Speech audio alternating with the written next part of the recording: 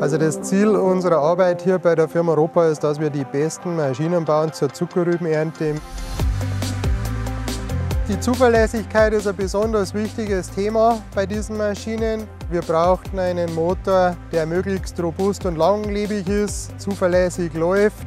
Diesen Wunsch hat also Volvo bei diesem Stufe 5 Motor jetzt sehr gut erfüllt.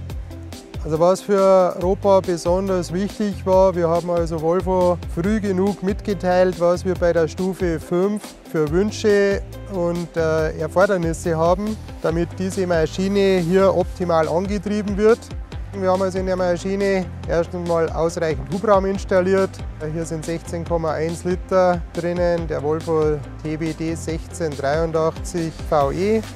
Der Motor hat bei sehr niedriger Drehzahl bereits ein sehr hohes Drehmoment. Das ist, was fürs Rübenroden mit der Maschine besonders wichtig ist. Wir haben eine Hauptarbeitsdrehzahl beim Rübenroden von 1100 äh, Dieselmotorumdrehungen.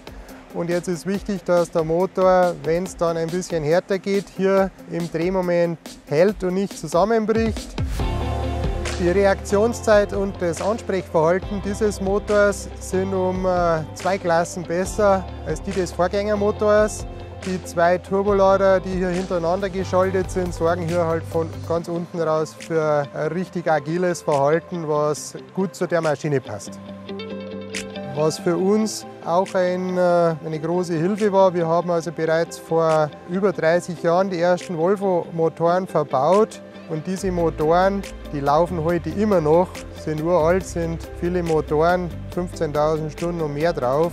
Und der Motor macht sehr wenig Sorgen. Von daher hatten wir in die Marke Volvo ein großes Vertrauen wir denken, dass wir mit diesem Motor wieder den besten Antriebsstrang in allen Rübenrodern auf dem Markt haben, dass der Motor besser zur Maschine passt als alle anderen Motoren, die auf dem Markt verfügbar sind und dass wir damit den Vorsprung im Markt wieder weiterhin beibehalten und ausbauen können.